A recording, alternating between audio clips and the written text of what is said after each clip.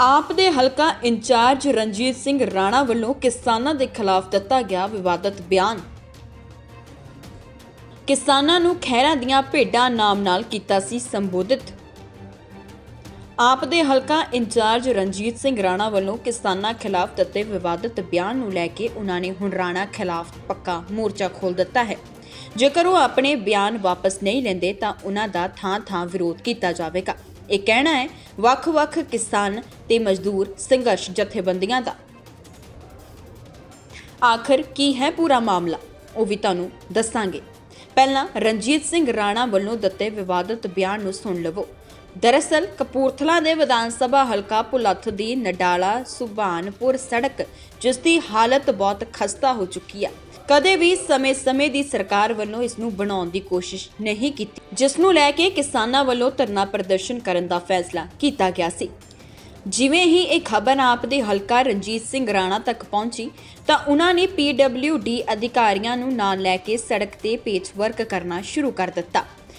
ਮੌਕੇ ਤੇ ਪਹੁੰਚੇ ਪੱਤਰਕਾਰਾਂ ਨੇ ਜਦੋਂ ਰਣਜੀਤ ਸਿੰਘ ਰਾਣਾ ਨੂੰ ਸਵਾਲ ਕਰ ਦਿੱਤਾ ਕਿ ਹੁਣ ਵੀ ਕਿਸਾਨਾਂ ਦੇ ਵੱਲੋਂ ਧਰਨਾ ਪ੍ਰਦਰਸ਼ਨ ਕੀਤਾ ਜਾਵੇਗਾ, ਰਾਣਾ ਨੇ ਕਿਸਾਨ ਜਥੇਬੰਦੀਆਂ ਨੂੰ ਹਲਕਾ ਵਿਧਾਇਕ ਸੁਖਪਾਲ ਸਿੰਘ ਖਹਿਰਾ ਦੀਆਂ ਭੇਡਾਂ ਨਾਮ ਨਾਲ ਸੰਬੋਧਿਤ ਕਰ ਦਿੱਤਾ।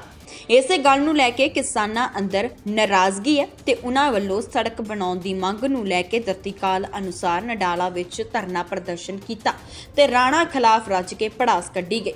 ਕਿਸਾਨਾਂ ਨੇ ਇਹ ਵੀ ਐਲਾਨ ਕਰ ਦਿੱਤਾ ਹੈ ਕਿ ਜਦੋਂ ਤੱਕ ਰਾਣਾ ਸ਼ਬਦ ਵਾਪਸ ਨਹੀਂ ਲੈ ਲੈਂਦੇ, ਉਨੀ ਦੇਰ ਤੱਕ ਉਹਨਾਂ ਦਾ ਪਿੰਡ-ਪਿੰਡ ਵਿਰੋਧ ਕੀਤਾ ਜਾਵੇਗਾ। ਹੁਣ ਦੇਖਣਾ ਹੋਵੇਗਾ ਕਿ ਕਿਸਾਨਾਂ ਦੇ ਇਸ ਬਿਆਨ ਤੋਂ ਬਾਅਦ ਰਣਜੀਤ ਸਿੰਘ ਰਾਣਾ ਆਪਣੇ ਵਿਵਾਦਤ ਬਿਆਨ ਵਾਪਸ ਲੈਂਦੇ ਹਨ ਜਾਂ ਕਿਸਾਨਾਂ ਦੇ ਵਿਰੋਧ ਦਾ ਸਾਹਮਣਾ ਕਰਦੇ ਹਨ। ਜ਼ਿਕਰਯੋਗ ਹੈ ਕਿ ਨਡਾਲਾ ਸੁਭਾਨਪੁਰ ਸੜਕ ਦੀ ਮਿਆਦ 2019 ਵਿੱਚ ਖਤਮ ਹੋਣ ਤੋਂ ਬਾਅਦ ਕਿਸੇ ਵੀ ਸਰਕਾਰ ਨੇ ਇਸ ਦੀ ਸਾਰ ਨਹੀਂ ਲਈ। ਜਿਸ ਕਾਰਨ ਸੜਕ ਵਿੱਚ ਪਏ ਡੂੰਘੇ ਟੋਇਆਂ ਕਾਰਨ ਅਕਸਰ ਸੜਕੀ ਹਾਦਸੇ ਵਾਪਰਦੇ ਹਨ। ਸਾਹਿਬ ਰਾਣਾ ਸਾਹਿਬ ਦੇ ਵਿੱਚ ਕੋਲ ਕੀ ਆ? ਰਾਣਾ ਸਾਹਿਬ ਆਪਾਂ ਕਹਿੰਦੇ ਨਹੀਂ ਰਾਣੇ ਆ ਰਾਣਾ ਕਹਿੰਦੇ ਰਾਣਾ ਤੇ ਨਾਲ ਕਾਣਾ। ਜੇ ਇਹਨੇ ਸਾਨੂੰ ਕਿਹਾ ਨਾ ਗਲਤ ਸ਼ਬਦ ਬੋਲਿਆ, ਤੇ ਇਹਨੂੰ ਵੀ ਅਸੀਂ ਗਲਤ ਸ਼ਬਦ ਇਹ ਬੋਲਦੇ, ਤੂੰ ਕਹਾ ਰਾਣਾ ਕਾਣਾ ਆ, ਤੂੰ ਰਾਣਾ ਨਹੀਂ, ਤੂੰ ਰਾਣਾ ਸਾਹਿਬ ਨਹੀਂਗਾ ਇਸ ਕਰਕੇ ਅਸੀਂ ਤੈਨੂੰ ਰਾਣਾ ਕਾਣਾ ਕਹਿੰਦੇ ਆ ਤੇਰੀ ਵਾਰੀ ਵੀ ਆਉਣ ਵਾਲੀ ਆ ਝੋਨੇ ਵਾਸਤੇ ਤੇਰੇ ਵੀ ਟਰੈਕਟਰ ਟਰਾਲੀਆਂ ਖਲੋਤੇ ਆ।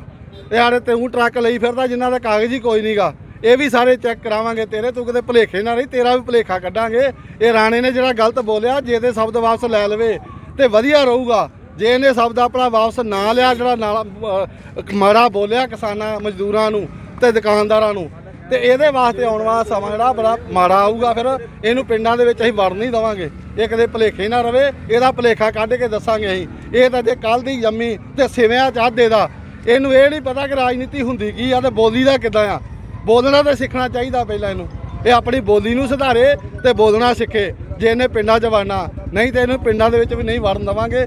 ਇਸ ਕਰਕੇ ਸਾਡੀ ਕਿਸਾਨ ਮਜ਼ਦੂਰ ਸੰਘਰਸ਼ ਕਮੇਟੀ ਪੰਜਾਬ ਇਸ ਚੀਜ਼ ਤੇ ਲੜਦੀ ਰਹੂਗੀ ਔਰ ਲੜਦੇ ਰਵਾਂਗੇ।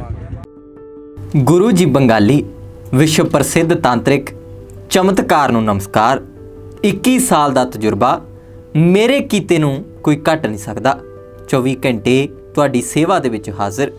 ਬੰਧਨ ਕਿਸ ਨੇ ਕੀਤਾ, ਕਿਵੇਂ ਕੀਤਾ, ਕਦੋਂ ਕੀਤਾ ਤੇ ਕਿੱਥੋਂ ਕੀਤਾ, ਅਸੀਂ ਸਭ ਕੁਝ ਗਰੰਟੀ ਨਾਲ ਦੱਸਾਂਗੇ। ਪਤਾ ਨੋਟ ਕਰੋ, ਲੁਧਿਆਣਾ, ਪੰਜਾਬ। ਕਾਲ ਕਰ ਸਕਦੇ ਹੋ 98784 29430 ਲਵ ਮੈਰਿਜ, ਘਰ ਕਲੇਸ਼, ਕਾਰੋਬਾਰ, ਘਰ ਦੀ ਸ਼ਾਂਤੀ, ਨੌਕਰੀ, ਸੌਤਨ ਤੋਂ ਛੁਟਕਾਰਾ, ਵਿਦੇਸ਼ ਯਾਤਰਾ ਚ ਰੁਕਾਵਟ, ਹਰ ਕੰਮ ਗਰੰਟੀ ਨਾਲ ਕੀਤਾ ਜਾਂਦਾ ਹੈ। ਲਵ ਮੈਰਿਜ ਵਸ਼ੀਕਰਨ ਲੋਟਰੀ ਸਪੈਸ਼ਲਿਸਟ ਵਿਦੇਸ਼ ਵਿੱਚ ਬੈਠੇ ਲੱਖਾਂ ਲੋਕਾਂ ਨੂੰ ਸਾਡੇ ਕੰਮ ਤੋਂ ਖੁਸ਼ੀਆਂ ਮਿਲੀਆਂ ਹਨ। 11 ਘੰਟਿਆਂ 'ਚ ਸਾਰੀਆਂ ਸਮੱਸਿਆਵਾਂ ਦਾ ਸਮਾਧਾਨ ਕਰ ਬੈਠੇ